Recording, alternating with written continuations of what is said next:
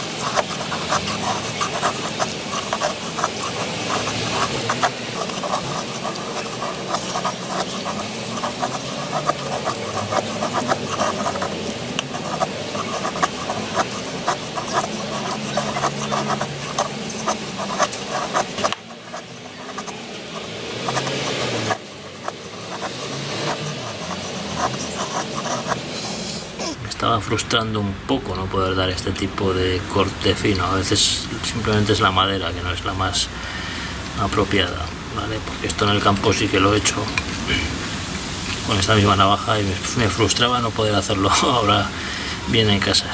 Simplemente era por la madera. Es que somos capaces de sacar este tipo de corte fino también.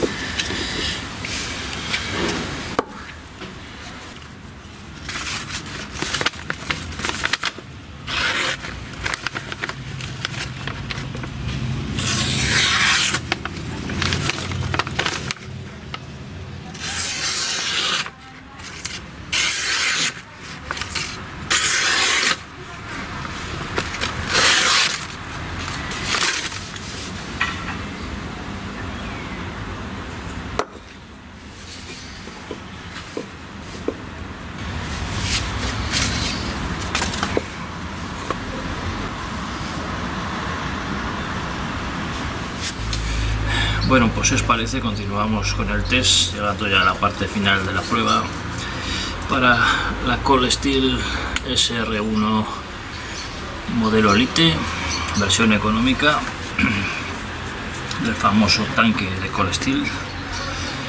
Voy a dejarme la mano derecha sin guante para valorar mejor el grip. Y nos vamos a la prueba de cartón, como decía, en primer lugar utilizando cartón rígido, cartón grueso,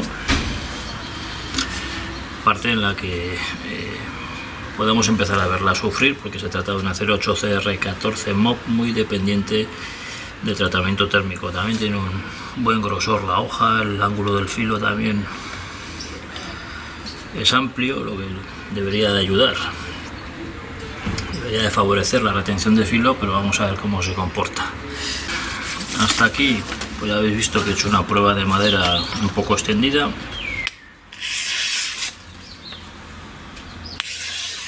Y como veis sigue manteniendo un filo finísimo. Prueba de madera extendida porque ya puede con ello. Porque la considero más una navaja de campo que para cualquier otra tarea obviamente no es la navaja que te llevarías eh, en el bolsillo aunque sí que es una buena navaja de trabajo.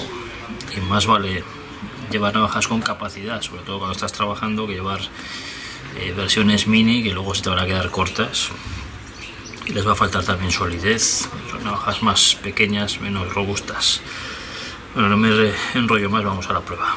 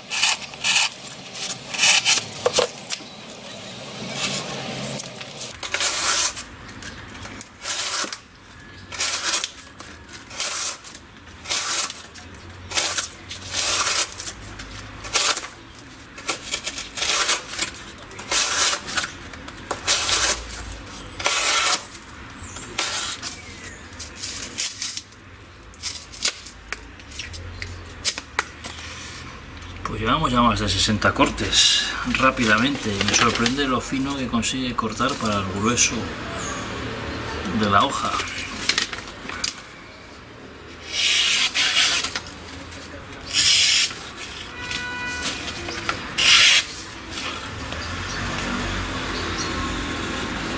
se me atasca, pero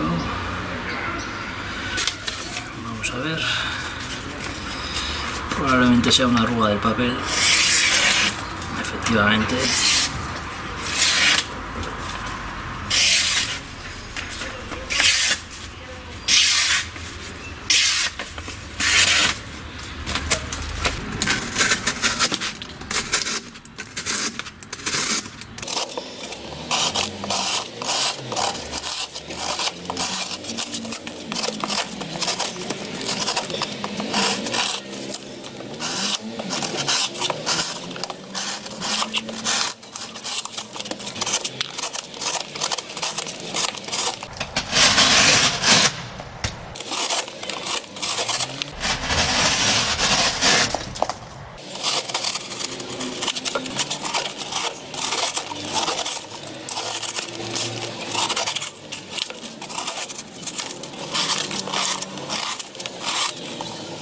Ya habríamos llegado y pasado un poco incluso de los 100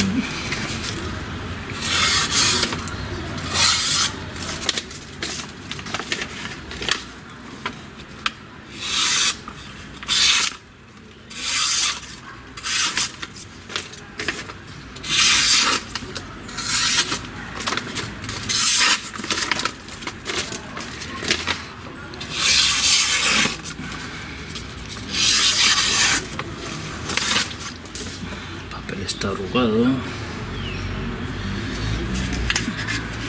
Usamos un papel liso.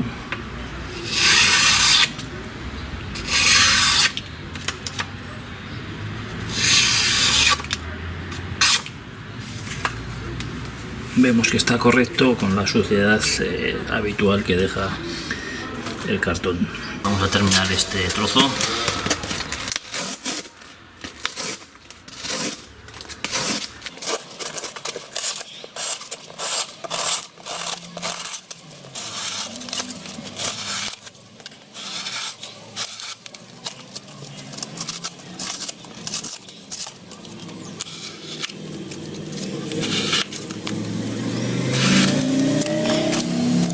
más o menos 120 cortes, imagino que vale.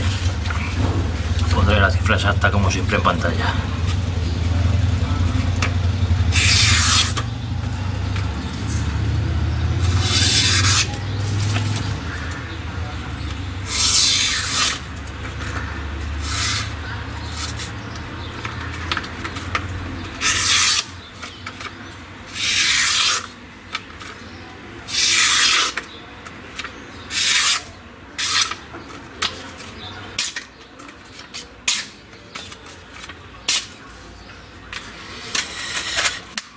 Filo correcto con la suciedad, como decía, pues típica de, del residuo que va dejando el cartón.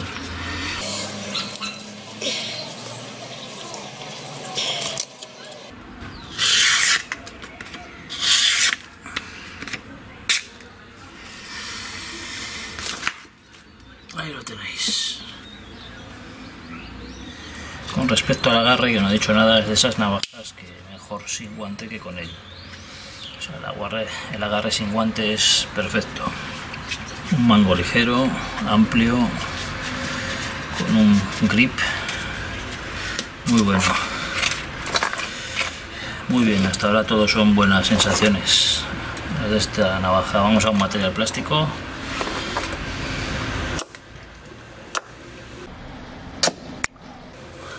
Se lo come.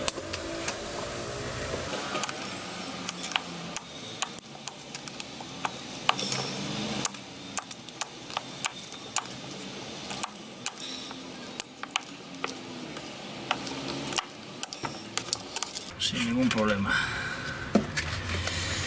sin ningún problema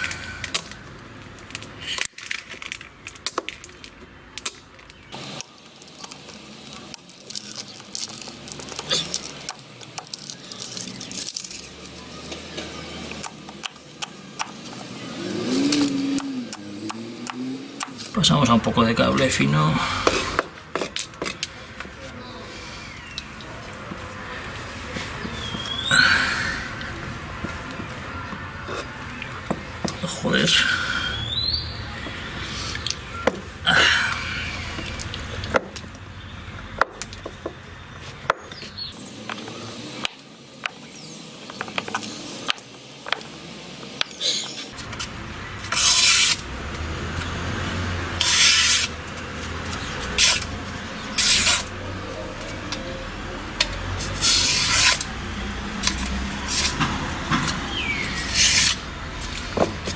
más cable, algo más grueso, ¿no? radial. Mm.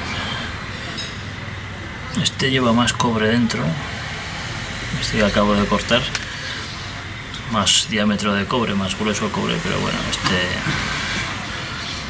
son dos, digamos.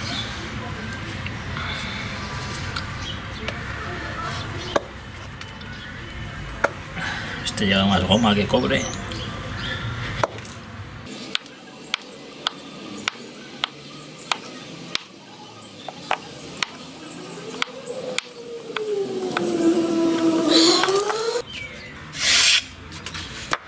Triple.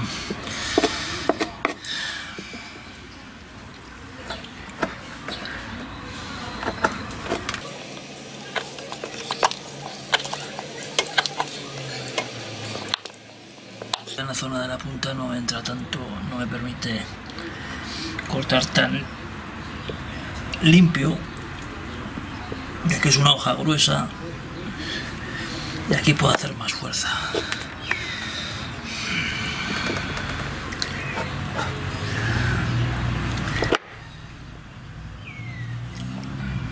en el resto del filo pues lo corta sin problema.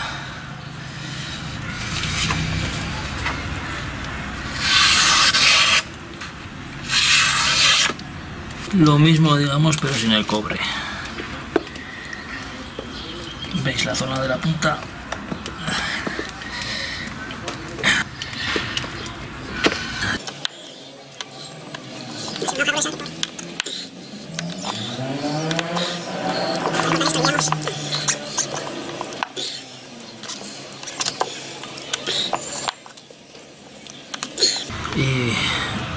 vamos al esfuerzo final con este cable más grueso que tengo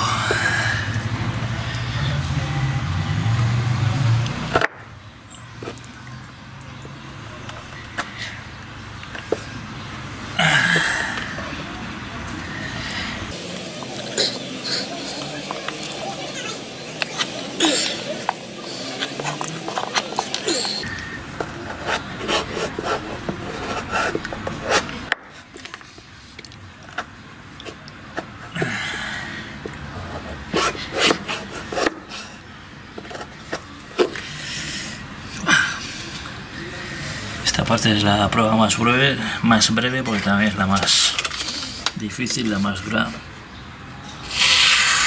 y la que más nos va a castigar el filo a cortar por deslizamiento. Hago a propósito ese deslizamiento.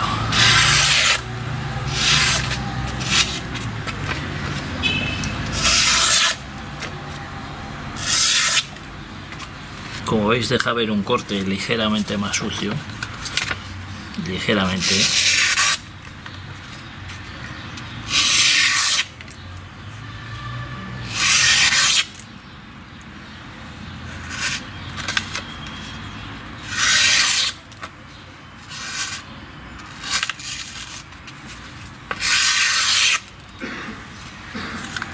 Muy muy buena retención de filo para el tipo de acero que se trata. Y fijaros que no hay ni la más mínima señal de deterioro del filo en toda la línea.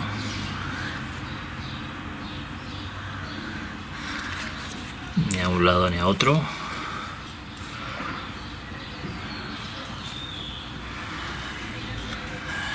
La condición del filo es perfecta y ahora vamos a dar un asentado para ver cómo queda lo recuperamos tras el test. Por mí es una prueba suficiente, completa y me ha pasado perfectamente, no tenía dudas, pero bueno, preocupaba un poco el rendimiento del acero, que se pudiera venir abajo, pero no ha sido así, no ha sido así.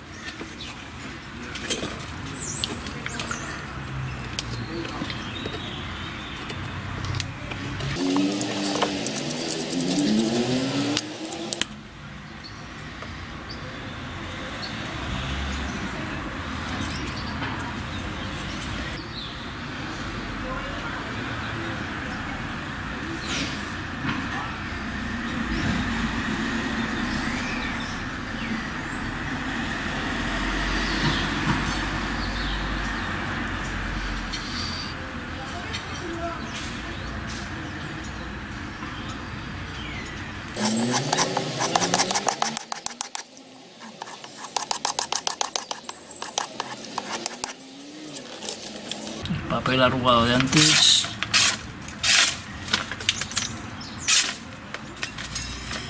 Ya veis que ni pliegues, ni arrugas, ni nada.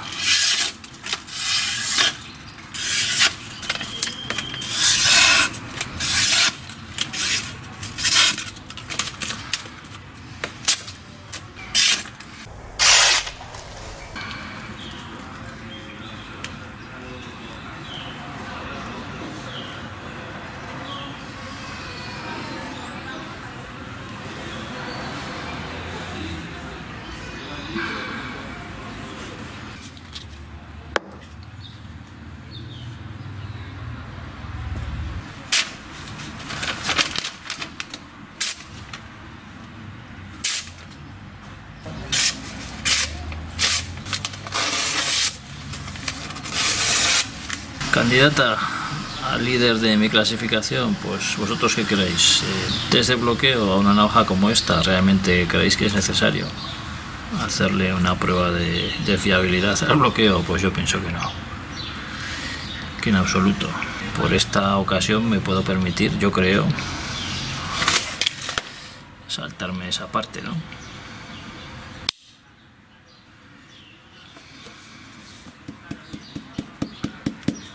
Esto eh, está más que probado. Os garantizo que esto no va a fallar. Un saludo a todos. Gracias por verme. Y nos vemos.